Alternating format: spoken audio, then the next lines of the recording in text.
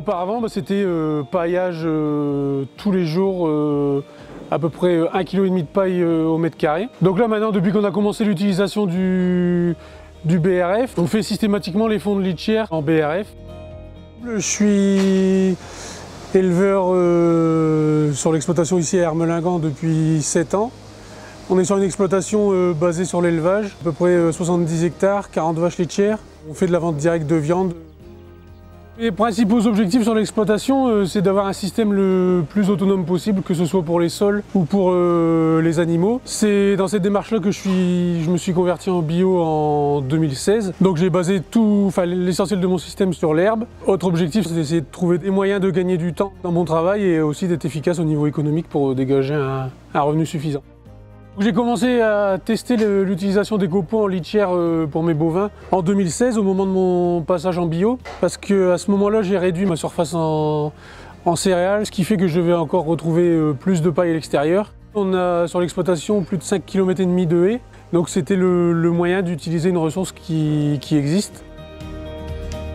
L'utilisation du BRF euh, se fait sur toutes les catégories d'animaux, hormis les vaches laitières parce qu'elles sont en logette paillée. Il y a à peu près 80 animaux qui sont en stabulation libre avec euh, air paillé, donc euh, les, génisses laitières, les, bœufs et génisses viande et les vaches allaitantes. Il y a à peu près 300 mètres carrés d'air paillé. Donc en partenariat avec le, parc, dans le cadre du programme Transae, on a mis en place des, protocoles et des, suivis euh, d'expérimentation euh, pour avoir des retours euh, chiffrés tant au niveau économique que technique. en fait chez moi on a testé deux protocoles. Le premier c'était de mettre un fond de copeaux, faire le fond de litière en copeaux, 10-15 cm, et après d'utiliser de la paille. Le deuxième protocole c'était d'utiliser exclusivement du BRF en, étalant des couches successives de 10 à 15 cm à chaque fois. L'expérimentation a été mise en, place après que j'ai curé la litière de mes animaux. J'ai étalé une dizaine de centimètres de copeaux sur toute la surface de, l'air paillé. Donc j'ai réalisé ça avec le télescopique de l'Acuma. Euh, j'ai cubé le, le godet du télescopique. Je connais la surface de mon air paillé, ce qui fait que je suis assez précis dans l'épandage. Dès que je vois que mes animaux commencent à être sales, je décide d'intervenir, de remettre une nouvelle couche de 10-12 cm de copeaux et ainsi de suite. Le stock de copeaux est constitué euh, à 50% euh, par, mes haies et 50% par l'extérieur. En fait ici la plantation euh, agroforestière qui a été réalisée en 2016 a été le fruit d'une longue réflexion. Et euh, donc on a découpé la parcelle de, 4 hectares en 10 paddocks de, 40 arts, puisque ici on est en, pâturage tendant dynamique pour les vaches laitières. Donc on a fait les, plantations en fonction des découpes de parcelles afin de ne pas être euh, gêné dans le, travail.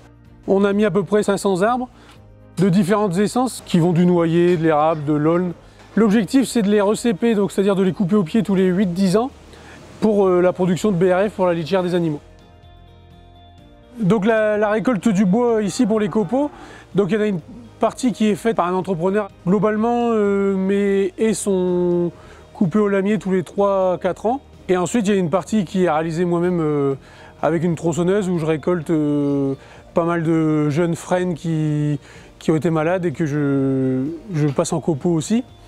Donc en général, ça c'est coupé euh, novembre-décembre. Je laisse le, tas de branches euh, sécher pendant 6-8 euh, mois. Le stockage, c'est une des plus importantes problématiques. Et c'est un peu ça qui, m'embêtait au départ parce qu'on faisait faire le broyage. Le tas était dehors. Donc on étalait la première couche, on avait un bon produit.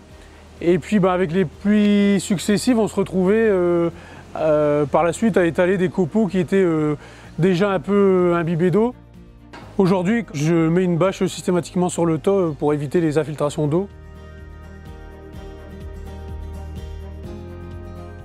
Globalement, que ce soit euh, les copeaux qui viennent de mai ou les copeaux que je récupère à, l'extérieur, ils ont à peu près le même coût de revient aux alentours de 15 euros du mètre cube. Le stock de paille, il est constitué à 100% d'achat extérieur. Et quand j'inclus le coût d'achat de la paille, du pressage et du transport, euh, elle me revient à 61 euros tonne. Dans le cadre du suivi de l'expérimentation, on a fait des relevés de température de litière. Pour la litière 100% copeaux, la température est uniforme.